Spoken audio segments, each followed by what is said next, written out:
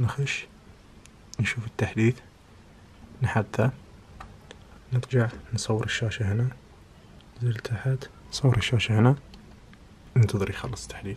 السلام عليكم هلا فيكم فيديو جديد. طبعا اليوم راح أتكلم معاكم عن النسخة التجريبية الثالثة لل iOS 12.3 طبعا ال iOS النسخة التجريبية الثانية تمت أسبوعين. النسخة التجريبية الثانية ممتازة بالنسبة لي ما فيها أي عيب. الشبكة ممتازة طبعا مرة واحدة بس اللي فجأة قلت أستخدم الجهاز قطع ال wireless بالنسبة لي يعني ما اهتم بهذا الشيء لكن يعتبر عيب في النسخة التجريبية الثانية. و Apple إلى الان متوهقة مع Intel مع المودم حقها ال wireless والشبكة. في كل نسخة تجريبية تنزل تحدث المودم وتشوف المشاكل. ففي النسخة هذه برضو النسخة التجريبية الثالثة قاعدة تنزل معاكم الحين؟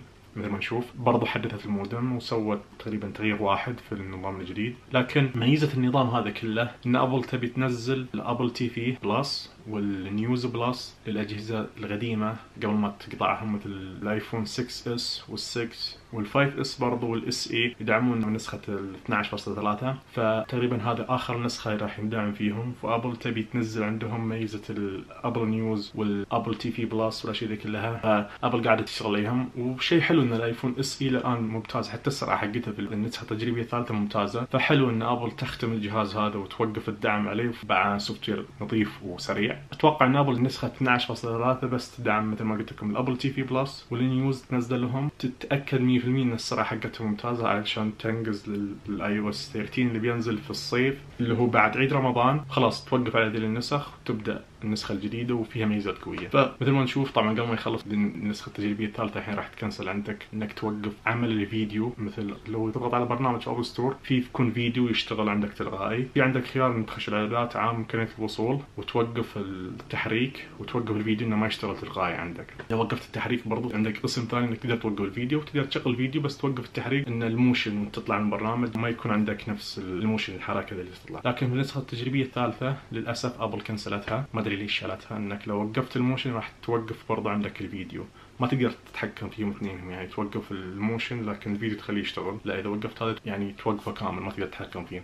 ما أدري إيش كنسلته لكن بالنسبة لي ما اهتميت فيه. أنا ولا فكرت فيه ولا أدري إنه موجود أصلا إلا لما شفت المراجعات تتكلم عن النسخة التجريبية الثالثة ابل كنسلت الحركة. نشوف هل بترجعها في النسخة التجريبية الرابعة إذا صار في نسخة تجريبية رابعة برضه ولا لا. لأن النظام هذا تقريبا قبل نهاية رمضان لازم ينزل للعامه وينزل لكم كلكم. وبتحدثونا يعني. ويلا ننتظر نخلص تنزيله في الجوال ونشوف الميزات ونشوف الأشياء كلها. لما يخلص الآيفون ايفون تحميل النظام. خلينا نتكلم عن ال software ات وأعلمكم بشكل بسيط عن الفروق بين تحديثات أبل أو أبل كيف تمشي بسلسلة تحديثاتها. طبعا بداية مثلا لو بنتكلم عن الاي 12 فإذا كنت أنت في ال iOS 11 ونقلت لل iOS 12 فبتكون عندك ميزات قوية. ليش؟ لأن أول رقم تغير. أبل تقسم الأرقام حقت ال iOS على ثلاث أرقام. الرقم الأول اللي على اليسار إذا تغير مثلا إذا كنت على 12 ورحت 13 راح تكون عندك ميزات جديدة أو تحديث جذري يعني في ميزات كثيرة في التحديث. إذا لا الرقم الثاني تغير. مثلا لو كنت في 12.1 مثلا ونزلت على 12.2 هذا التحديث. فالرقم الثاني تغير. فبرضه في ميزات نزلت. ميزة أو ميزتين أو ثلاث. المهم انه في ميزات نزلت.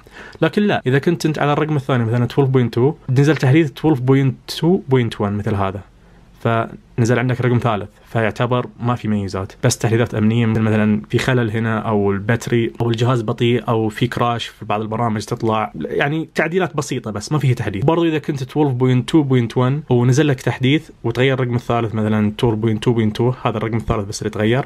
فنفس الحركة ما في أي ميزات فقط تعديلات في على النظام استقرار النظام ال battery تخلص عندك بسرعة كذا. لكن لو إنك في 12.2.2 وتغير عندك مثلا الرقم الثاني اللي هو هذا هو. صرت الحين 12.3 فلازم تكون عندك ميزات جديدة نزلت في النظام. وتمشي مع الحركة دي حتى لو إنك تنزل عندك مثلا بعد سنة ينزل ال iOS 13 كنت على 12.3 وتغير عندك الرقم الأول من 12 ل 13 برضو ميزات قوية راح تكون عندك يعني تحديث جذري. بعدها بأسبوعين ثلاث أسابيع على 100% انه بتكون في مشاكل راح تنزل ابل بعدها iOS 13.0.1 مثلا ما راح تعدل شيء بس بتنزل لك 13 راح يكون عندك 13.0.1 طبعا سامحوني على الخطه هذه ما راح تكون فيها أي ميزة. فقط تعديل ان الرقم الثالث من الصفر نفسه ما راح على الصفر. دقيقة بس خله screenshot ونستخدمها هنا أحسن. فكنت على هذا الإصدار 13.0 بعدها نزل عندك iOS 13.0.1 فالرقم الأول نفسه ما تغير الرقم الثاني برضه نفسه ما تغير الرقم الثالث اللي هو ال1 هنا نزل. كذا أبل بس تحديثات أمنية ثغرة في النظام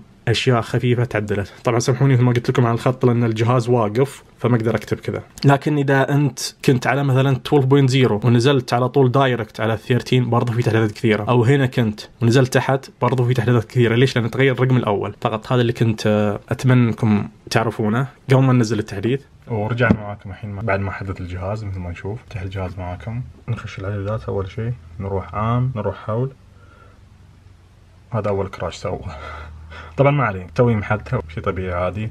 نخش مرة ثانية الإعدادات. عام حول ونشوف هنا. الاصدار الحين صار 16 اف 51 39 إي. وهذا القديم موجود هنا. نشوف الحين المودم. صار 1 0 5 0 2 القديم هذا هو مثل ما نشوف. فحدثوا برضو المودم هذه التغييرات الملحوظة والأشخاص اللي شافوها؟ لو نشوف نخش الإعدادات عام إمكانية الوصول. مثل ما تكلمنا قبل شوي نشوف هنا تقليل الحركة لو نشغلها مثل ما نشوف الخيار هنا كنسلوه فالحين ما أقدر أوقف الفيديو. إذا شغلته خلاص الفيديو يتكنسل ما أقدر أشغل هذه وأطفي الفيديو. فما عندي التحكم الزايد حق الفيديو. تقريبا هذه كل التغييرات اللي صارت في النظام. ما في أي شيء جديد. لو بنشوف مثلا تي في بما أن كل شوي يحدثونه هل سوى شيء جديد فيه ولا ما سوى؟ خلينا نشوف. لو نشغل المقطع هنا. هل بيفتح لي؟ إلى الآن يفتح لي هو لو فنفس الحركة. فما في أي تغيير في النظام الجديد. مثل ما قلت لكم النظام الجديد تقريبا أبل جالسة بس تدقق على السرعة الايفون SE وال6 وذي الأجهزة اللي بتكنسلهم علشان خلاص توقف عنهم الدعم بيكونون سلسين في النظام ما يكون في تقطيع ولا شيء. لو بنجرب الحين معاكم ال Geekbench مثل ما تعودنا نفتحها هنا نروح CPU نبدا نشوف معاكم. مثل ما نشوف. ال single core 4764 وال multi core 10432 لو نرجع هنا ونشيك عليهم كلهم نخش على ال CPU نشوف النسخة الأولى الثانية الثالثة. النسخة الأولى كان single core 4803 اللي بعدها 4809 فرق تقريبا 6 أخير لا نزل. 4764 ولو نجي على ال multi core كان أول نسخة 10959 ثاني ممتاز صار 11005 نزل الحين صار 10432 طبعا ما أتوقع في فرق مثل ما قلت لكم شيء خفيف السرعه ما راح ندقق عليه التغيير البسيط اللي نزل. لو نجرب معاكم الحين شيء جديد راح نبدأ معاكم من الحين. نرجع هنا. نجرب هنا ال GPU اللي هي معالج الرسومات. راح نبدأ معاكم الحين نجرب ذي كل المقاطع الجديدة اللي هي معالج الرسومات اللي عشان الالعاب والإخراج من إخراج التقطيع اللي يكون فيهم يكون من قوة معالج الرسومات اللي في الجهاز. فنجرب معاكم الحين من هنا النسخة الثالثة ونشوف كم راح يعطينا في معالجة الرسومات. مثل ما نشوف أعطانا 21746 ما أدري هالنسخه القديمة كم راح يعطينا اياه لأن ما جربتها. فنبدأ معكم من الحين. هذا الجهاز حقي الأيفون 8 بلس الأشخاص اللي جربوه من زمان يعني يجربون عندهم. أنا لما نشوف 8 بلس كم عطاه. 10 موجود ال 8 موجود 7 بلس موجود. فيعتبر يعني أقواهم كلهم. فحلو. نبدأ معاكم بعدين كل مرة نشيك.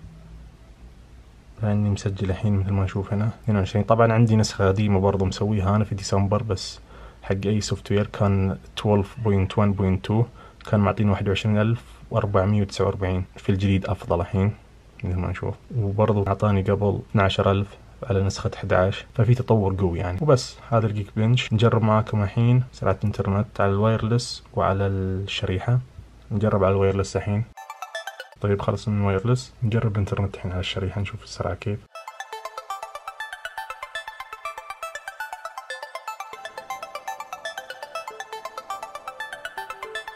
طيب خلص نشوف النتائج هنا. هذه على الشريحة. النسخة التجريبية الثانية في ال download كان عندي 108 هنا ال download أعطاني 77 upload أعطاني في النسخة الثانية 16 الجديدة 14 فيعتبر نازل. أما في ال wireless برضو نازل. النسخة الثانية كان معطيني 125 النسخة الأخيرة الحين 88 وال upload 14 الأخيرة الحين 87 فال wireless في الرفع أعطاني أفضل الحين. في التنزيل القديم كان أفضل. أما في الشريحة اثنينهم القديم أفضل بكثير من النسخة الثالثة بما ان ابل توهم حتى المودم فبرضو يبي لهم يحدثون أفضل. مشاكل كثيرة من انتل مثل ما قلت لكم. طبعا هذا الفيديو بس وهذه الميزات اللي نزلت في الجهاز ما في ميزات جديدة مثل ما قلت لكم ابل بس قاعد تدقق على الأداء الاجهزه القديمه علشان خلاص بتوقف الدعم عنهم اللي هو الايفون 6 ايفون SE وال5 S تقريبا يمكن 6 S برضو ما ندري الآن. تبيهم يكونون أفضل أداء عشان خلاص توقف عليهم وتكمل الأجهزة الجديدة اللي الان يعني بتدعم بس ال7 وال8 ونطالع يعني.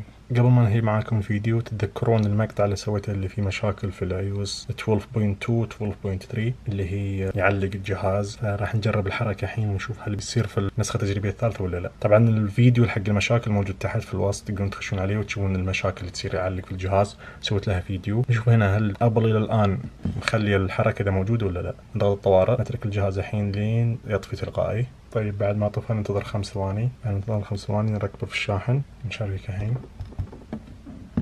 مثل ما شفنا ما صارت الجهاز لكن راح نجرب مرة ثانية. ممكن ابل عدلتها خش الطوارئ؟ ننتظر.